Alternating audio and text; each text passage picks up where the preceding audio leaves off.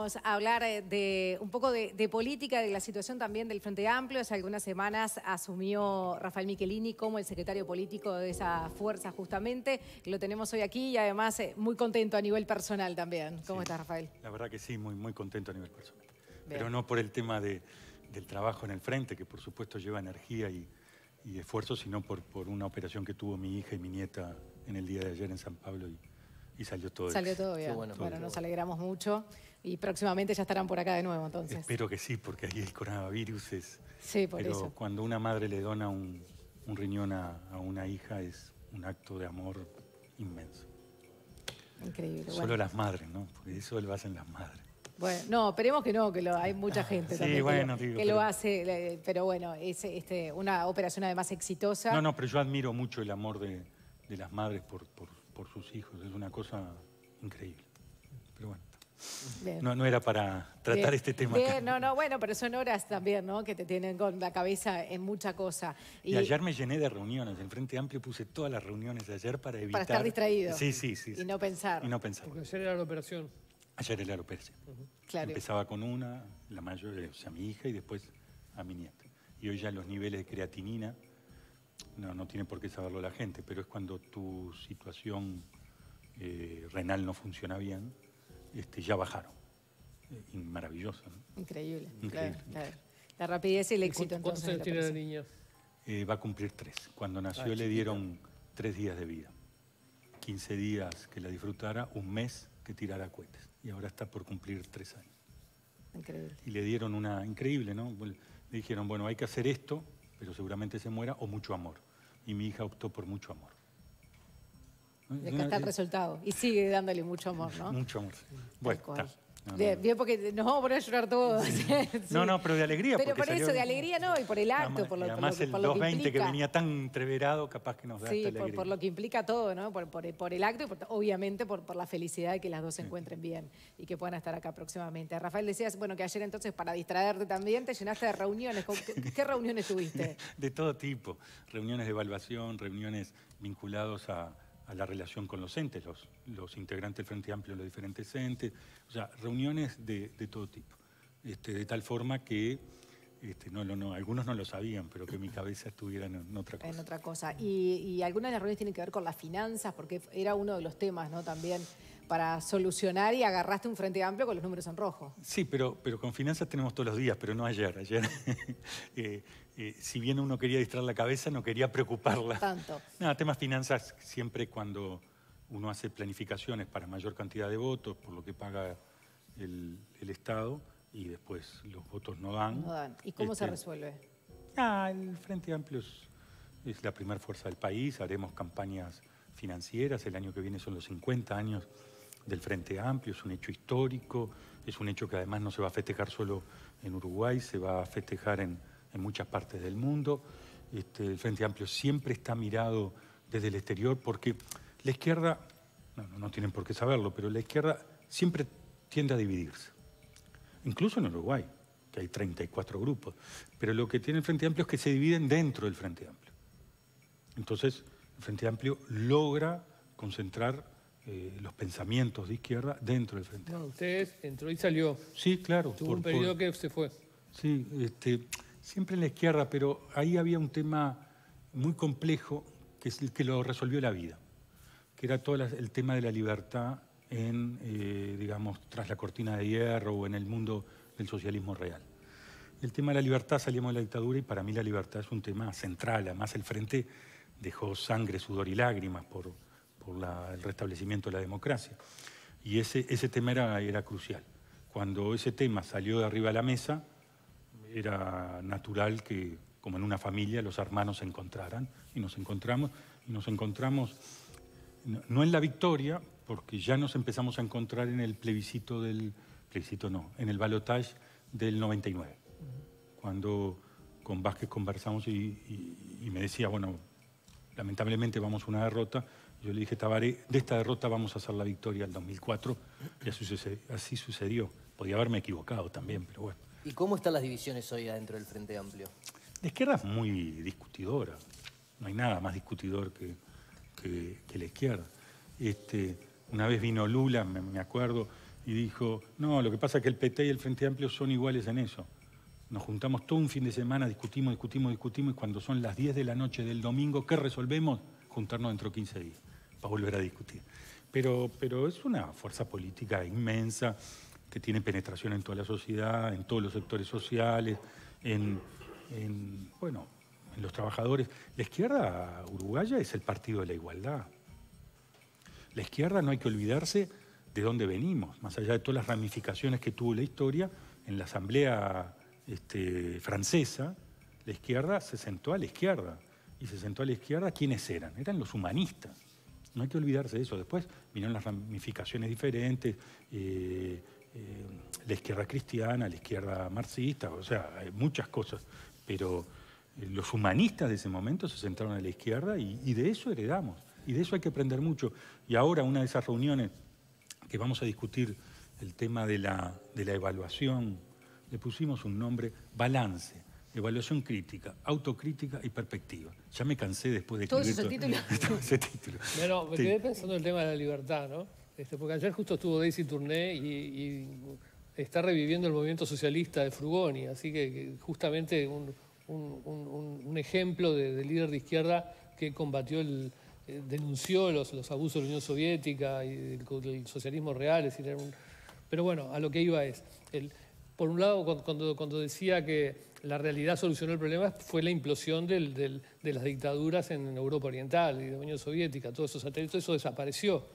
Pero, pero, no, pero no desapareció todo, es decir, queda Cuba, eh, Venezuela. Yo recuerdo los avisos del nuevo espacio por fuera de- del Frente Amplio, denunciando a Chávez, por ejemplo, que era como como había un Sí, aviso televisivo había- muy Chávez- duro contra Chávez. Y Maduro ha llegado a, a puntos que, que Chávez, eh, Chávez era un angelito al lado de, de Maduro. Sí, Chávez, es, eh, Chávez había tenido una situación ahí de ponerse contra la democracia de Venezuela, después tuvo, tuvo preso y después salió y hizo el camino democrático.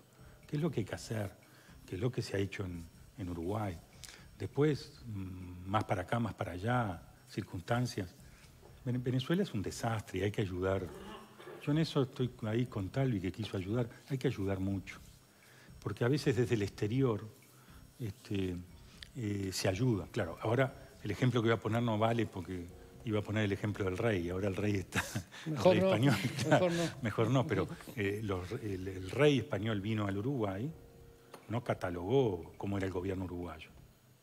Eh, vino a hablar con la oposición, incluso se encontró con mi madre en su momento, este, eh, vino a dar una mano, y es lo que tenemos que hacer, dar una mano.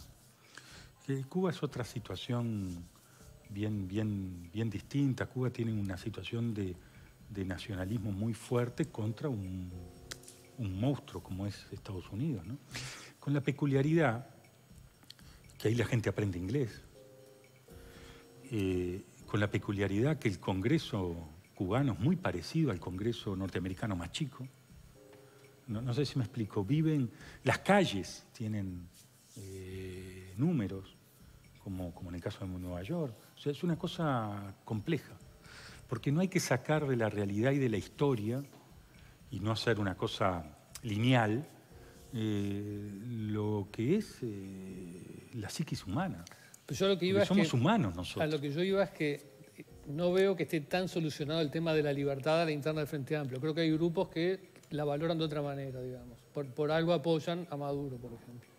Es decir, lo ven Sí. de otra manera. El, el- el Frente tiene una tensión, que es entre la libertad y su antiimperialismo.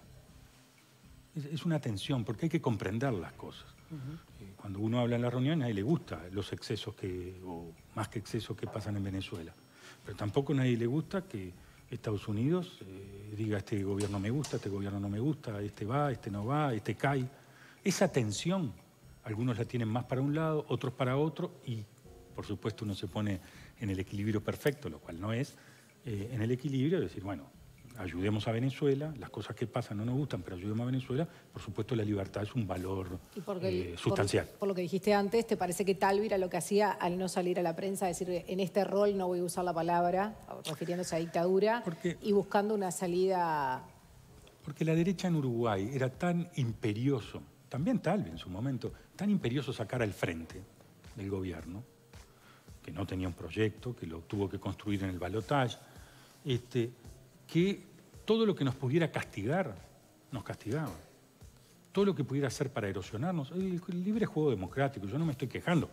Dijeron que no iban a subir las tarifas. Bueno, alguna gente lo creyó. Era un, digamos, un dicho un poco infantil, porque que las tarifas no, se, no iban a subir, nadie lo creía. Pero tenía un impacto, aparecían en los medios. Pero su principal objetivo, este, yo creo además con Sanguinetti atrás, con, digo, con cabeza política, tipo un hombre, perdón, este, dos veces presidente del país, que era vamos a sacar a, al frente del gobierno, lo demás es lo de menos. Y lo lograron. Este, pero eso lleva, para mí, que casi con seguridad el Frente gane en las próximas elecciones como pasó en, la Argentina, cuando uno no tiene un proyecto. Mi preocupación, y cuando vino Javier Miranda a hablar conmigo con el tema de la Secretaría Política, que además yo estaba con un lío tremendo, porque el nuevo espacio también tiene deudas y, yo no había salido senador y me había muerto mi hermano Felipe, o sea, era un momento, yo le dije, yo ayudo si el, dentro de cinco años que seguramente ganemos, ganemos con un proyecto, no ganemos porque ganamos. Sin embargo, ¿por, qué, ¿por, qué, decir que la coalición de gobierno no tiene un proyecto? En realidad firmó un compromiso por el país. Es un proyecto que no, a no le gustará. No, no, yo hablaba en los cinco años. Lo, acabo de decir, en el balotaje firmó un, un acuerdo. Pero no lo construyó, no construyó una plataforma durante cinco años golpeaban, golpeaban, golpeaban, legítimamente. Yo no me estoy quejando. Yo no me quejo de la política. En, teoría fue el trabajo que hizo la calle Pou durante la campaña electoral, de ir buscando justamente cuáles eran los proyectos de, los otros eventuales o posibles socios de la coalición. Y los encontró y por eso pudieron cerrar en un mes el, compromiso para el país, ¿no? Sí, está bien, pero nos criticaron un PM hasta, hasta lo último, pero no lo pusieron en el compromiso. No, que le iba a Pero el proyecto del Frente Amplio era UPM. No, no, no, no el proyecto. Nos criticaron por la inflación. Y si hubiéramos crecido al 1%, un 1% más, no hubieran podido... Bueno, pero la crítica es parte del juego político. Por eso, el, Frente la hizo también durante el gobierno, claramente igual. Yo, yo, no, yo no me quejo, digo cuál era el, objeto. El objeto era sacar al Frente Amplio, que es el principal partido del país. Y lo que yo le dije, estoy haciendo una descripción de los hechos, lo que le dije a Javier es, a Javier Miranda, bueno, yo voy, pero no para que el Frente Amplio gane, porque los otros, como pasó en la Argentina, en la medida que yo creo que no hay un proyecto profundo, elaborado, que para mí no saben a dónde van, pero es una opinión personal, este, ganemos por, porque los otros, eh, la gente va a recordar los 15 años del Frente Amplio, va a recordar estos, y ganemos por, en forma casi automática, piloto, en, piloto automático. Lo digo, vamos a, presentarle dentro de 3, 4 años a la población un, proyecto para los próximos 15 años sólido, potente, eh, un, intento de, crecimiento, como, como, pasó en este caso, que, eh, Uruguay multiplicó por cuatro su producto. O sea, no, hay pocos países que quizás la Alemania, después de salir de, de la Segunda Guerra Mundial, haya duplicado por cuatro su producto. Sí, ¿qué, cree que puede pasar en estos años para que, para que de alguna manera también el, gobierno pierda la fuerza que, de alguna manera tiene hoy? Todas las encuestadoras dan altísimos niveles de aprobación a la gestión de Luis Lacalle Pou en lo que va de, estos meses. Sí, pero, pero hay un mal diagnóstico de parte de los conservadores, la derecha, hay un mal diagnóstico. ¿El diagnóstico qué era? El Estado pesa mucho. Tengo, tengo, esto es como un barco, un motor privado fuera de bordo y un motor público fuera de bordo. El Estado pesa mucho y hace que el motor eh, privado no arranque o no tenga la suficiente potencia. Vamos a moderar el motor público y el privado va a arrancar. Eso es lo, que ellos, digamos, simplificando. Ahora, lo que pasa es que vino la pandemia. Si usted frena el motor público con un motor privado que no va a arrancar, lo que está frenando es la economía. Cuando usted frena la economía, frena las expectativas. Cuando frena las expectativas, nadie invierte ni nadie consume. Cuando nadie invierte nadie consume, la economía va para atrás. Salir de ese espiral negativo, este, adverso, eh, va a ser muy complejo. Eh, a ver, estamos hablando de ciento y pico de mil personas en seguro de paro, ¿no? Sí. Bueno, y el Estado cesa contratos. Cuando usted cesa contratos, ¿qué hace? Manda una cantidad de gente al mercado laboral. Muchos de esos que el Estado cesa, en el mercado laboral, por, educación, por, habilidades, va a tomar puestos cuando empiece lo privado un poquito a funcionar y va a dejar otra gente fuera. Entonces, ¿quiénes van a sufrir? Van a sufrir los más pobres, los menos calificados, la gente que tiene menos posibilidades, la gente que vive en barrios estigmatizados, la gente que su color de piel es distinta a la políticamente correcta. toda esa gente va a sufrir. Y a nosotros no, no, nos pega fuerte, porque nosotros creemos en la igualdad. Volvemos a, una discusión que la gente capaz que ya está aburrida de, escuchar, pero, esa, esa, actitud deriva un poco de que el Frente, un poco no, deriva de que el Frente Amplio dejó los números en rojo y el Estado no puede sostenerlos. No, pero eso también es un, para mí es un mito, ¿no? ¿Un eh, mito que dejó los números en rojo no? Sí, no, números en, eh, que, es, que, es un que, es un, que es un descalabro. O sea, viene el Partido Nacional y dice, esto es un descalabro, la izquierda es gastadora, la izquierda es gastadora, la izquierda es gastadora. Entonces, si yo soy un empresario para invertir y veo que la izquierda perdió por 25 mil votos y que tenemos la pandemia y me quieren hacer invertir 20 millones de dólares por 15 años y va a venir la izquierda gastadora, no invierto nada. Pero, la, discusión, sobre el déficit fiscal no se dio solo por supuesto que no en los términos que los planteaba en su momento la oposición ahora el gobierno, se dio dentro, dentro de la izquierda, fue el propio Ministerio de Economía que se trazó metas que después no pudo llegar a cumplir, pero, pero entendía que había que controlar el déficit fiscal y, no se logró. Porque el déficit, a ver, el déficit fiscal hay que ocuparse, no preocuparse. Preocuparse es entrar en la alarma. Es como, bueno, usted el colesterol, ¿se lo cuida? Sí, se lo cuida. Ahora, si está en el medio del Beirut, explotó la bomba, nadie le va a decir, y usted está salvando gente que está debajo de los escombros, nadie le va a venir a hablar del colesterol. Lo que dice que están priorizando el déficit cuando hay otros temas ahora. Se han obsesionado con el déficit, es, es un error, se han obsesionado. Cuanto más le dice a los empresarios que esto está horrible, menos van a invertir. Cuanto menos inviertan, este, eh, menos la economía se va a reactivar. Pero dejemos los empresarios. Si no invierten los empresarios, no hay empleo. Y cuando usted no tiene empleo, la tercera parte, yo calculo, pero alguien me va a corregir, es el 25%, el 40%, cuando usted no tiene empleo y de su empleo depende el alquiler, lo echan. Entonces usted pierde el, empleo y pierde el alquiler. lo que la vivienda. Lo que dice el oficialismo es que los números que quedaron no dan para mucho. Eh, Gandini fue muy crítico en las redes sociales eh, respondiendo a, a, lo que usted se refiere del déficit y dice eh, no diga disparates, mijo. Si fuera un examen de economía, le dirían vaya, estudie y vuelva en noviembre. Se prioriza la alimentación, el empleo y se cuida el déficit que se hace deuda. Con los números que dejaron, bastante hacemos. Habla, del déficit. A ver, eh, eh, primero, el déficit en Uruguay y creo que en Brasil, salvo en el resto de América Latina, se mide distinto. Por lo tanto, tenemos siempre un déficit mayor que el resto de los países porque en Uruguay se mide distinto el déficit. Creo que es Brasil y Uruguay. Esto bien lo saben los, los, economistas. Segundo, este, en el problema de caja, no hay un problema de caja tan grande porque está el tema de los cincuentones, que nos rebota dentro de seis o siete años mal, pero que ahora nos está rebotando eh, en beneficio, positivamente. Eh, tercero, eh, en la vida todo depende de la reputación. Usted habrá sacado créditos alguna vez y los pagó. Si en este momento usted tiene un problema con un hijo, una situación grave, y usted pide un crédito, se lo van a dar, porque lo que depende es la reputación. ¿Por qué Uruguay le prestan? Porque tiene su reputación. Ahora, el secretario político del Frente Amplio dice 300 millones de dólares.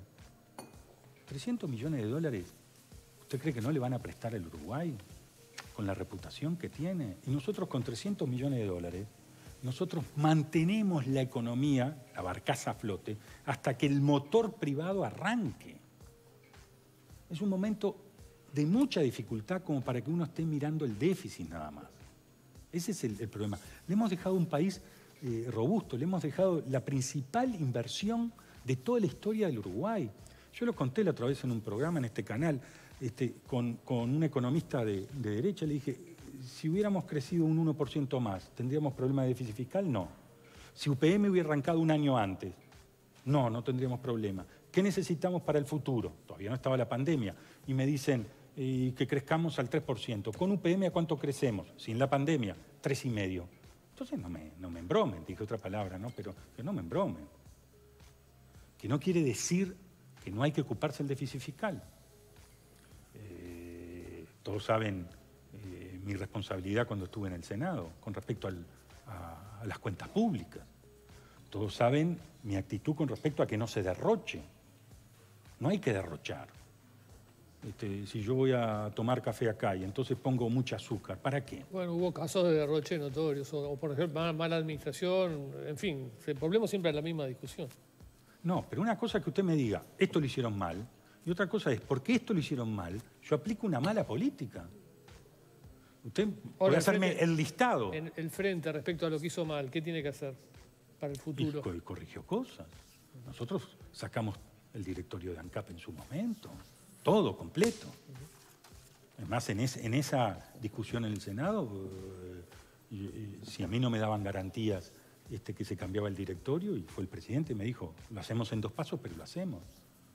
O sea, que uno cuide las cuentas públicas no significa que se enamore de las cuentas públicas. Porque acá el objeto no es bajar el déficit fiscal, el objeto es que la gente viva bien. Para que viva bien tiene que estar sostenido en el tiempo ese progreso. Para que esté sostenido en el tiempo, usted no puede vivir de plata prestada permanentemente. Pero en momentos de recesión, usted tiene que pedir plata para que el motor de la economía siga funcionando. Y eso está complicado, no, no les entra en la cabeza.